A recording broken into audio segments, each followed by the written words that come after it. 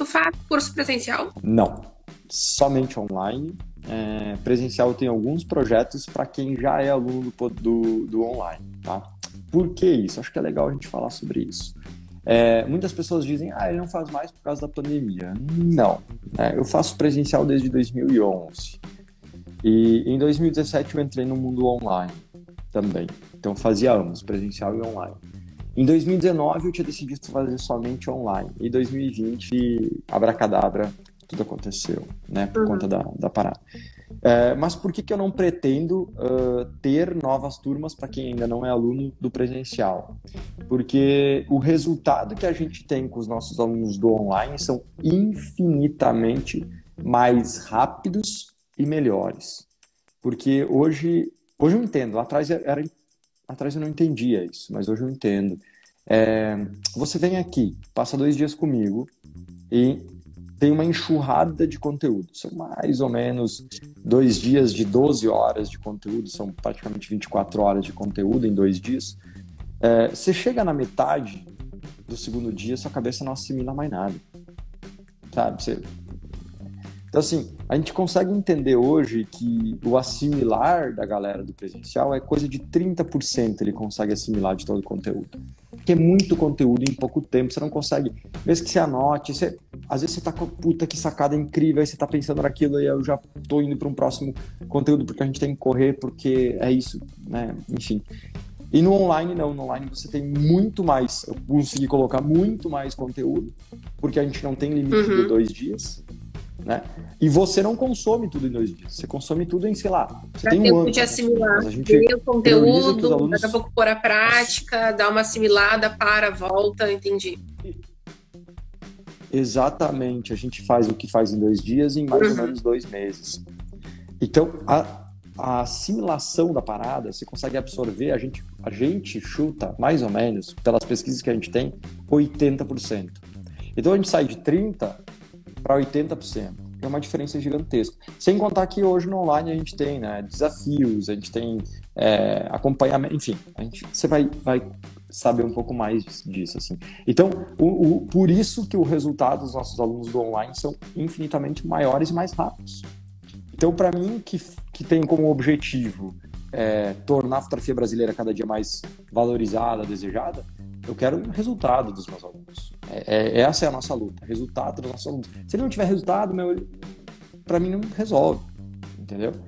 Então, por isso que o foco é total é, no online, tá? Sim, a gente tem projetos de fazer presenciais, mas aí são sempre projetos da galera que já passou pelo online, já conhece todo o conteúdo, e aí a gente pode ir muito mais específico em coisas muito mais profundas nos presenciais. Mas aí, por exemplo, que você. É, eu vou te ensinar uma técnica do presencial, você vai dizer assim, ah, vou te dar um exemplo. Eu vou te ensinar a técnica de fotografar com prioridade de abertura. Para você fotografar e fazer sua câmera funcionar bem em prioridade de abertura, você precisa mexer em cinco coisas na sua câmera compensação, modo de fotometria, qual a fotometria, compensação, foco, tudo isso, esses cinco pontos para te explicar e fazer você configurar a sua câmera de uma forma que ela funcione bem em prioridade de abertura. Quando eu começar a te ensinar isso, você vai chegar no primeiro ponto e vai dizer assim, ai meu Deus, o que é prioridade de foco mesmo? Não, quer dizer, prioridade de abertura mesmo? Ou não, quer dizer, o que é... Tá, peraí, deixa eu ver. O foco, fotometria é diferente do que o foco. Aí você começa a tentar encaixar na... e aí já passou. E aí foi. Sacou? E aí você tá preso lá no começo da e ó, é normal, tá?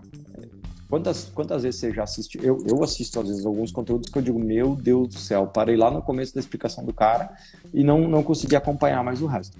Então o que você vai fazer? Vai pausar, pausar essa parada, você vai dizer assim, opa, isso aqui não é para mim agora, deixa eu voltar lá para pro, pro módulo do fotografia para iniciante para eu relembrar o que, que é o modo de e é muito bom. Eu já fiz isso, porque muito... as coisas se encaixam, sabe? Tu volta, tu já viu aquilo, mas tu volta porque tu teve experiência, tu pegou a câmera, tu mexeu, tu viu, tu testou, e aí tu volta lá naquela aula, né? Enfim, naquele vídeo, e aí as coisas aí fazem o sentido. É bem isso mesmo.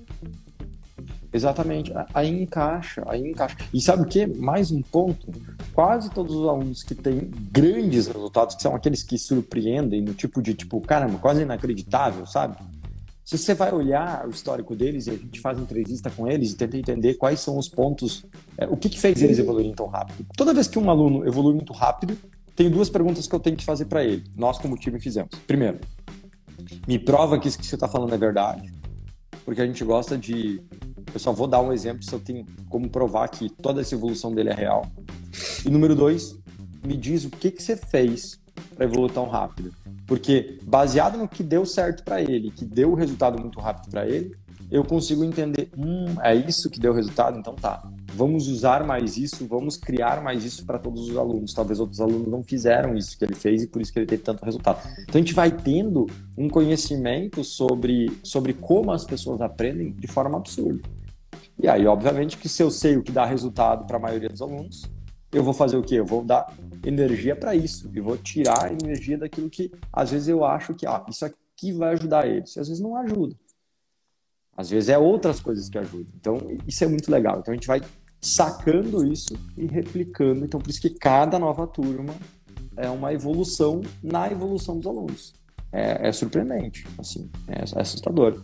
Então, esse é o caminho, esse é o nosso jogo hoje. Esse é o nosso jogo como time, né? Eu não faço sozinho, essa é uma diferença também. No uhum. presencial sou eu, né? É, e, e, hoje no online não sou só eu. Tem um time aqui dentro que, que é muito mais capaz do que eu de uhum. dar suporte. Né? Eu tenho conhecimento, mas se eu ensino para os meus alunos, eu consigo Sim. ensinar para o meu time. Né? E se eu ensino para o meu time, meu time, meu time consegue ajudar as pessoas, é, os nossos alunos, de forma mais, mais calma, porque eles têm bem mais tempo que eu. Né?